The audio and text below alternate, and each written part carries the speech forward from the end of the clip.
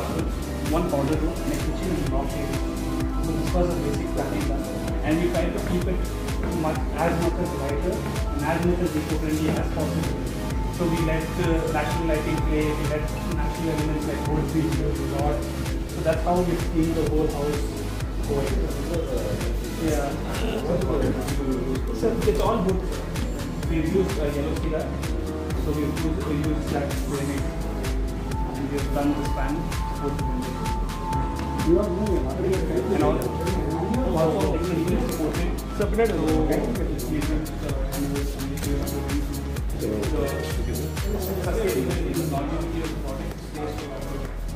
Just to give you an idea of such houses in North America, they've been known to stand for over 100 years. Most of the.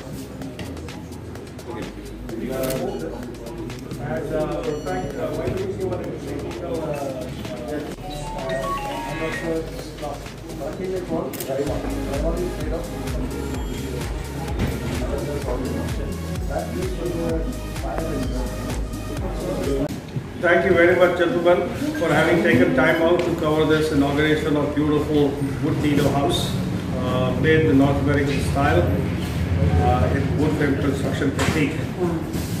Uh, before you start asking me different questions, I would like to enlighten you a little about us and our organization. We are Forestry Innovation Investments of uh, Vancouver, Canada. We are a crown agency of the government of British Columbia, the westernmost province of Canada on the west coast.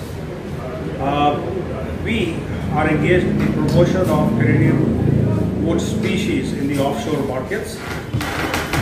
Uh, we have been in India now since 2014-15 and uh, we have had the opportunity to work with some of the best names in the woodworking industry. Uh, some great architects, some great developers and some nice uh, factories who have been working with wood, including the export-oriented manufacturing units of Rajasthan and UP. Let me take you through what is Wood and what we stand for and what we do. So Wood Niido is a company, a designing, construction, manufacturing company started by three young architects, myself, Vivek and Nishok, to build wooden homes and to build sustainable homes throughout India.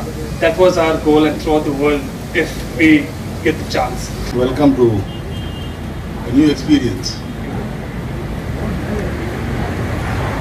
When we came here and went through the whole project, it's a very interesting uh, way of presenting a wooden house. Fact, Canadian wood has been uh, very popular in India. Last time when I had an opportunity to use a Canadian wood on a terrace, a gazebo or a pergola in many areas, we could see how we could transform the standard, they have some standard sizes, but how we could transform them into whatever we wanted to do. They come out very well. It's the red cedar wood what we have used. And I think I must say that working with Canadian wood is a very good experience.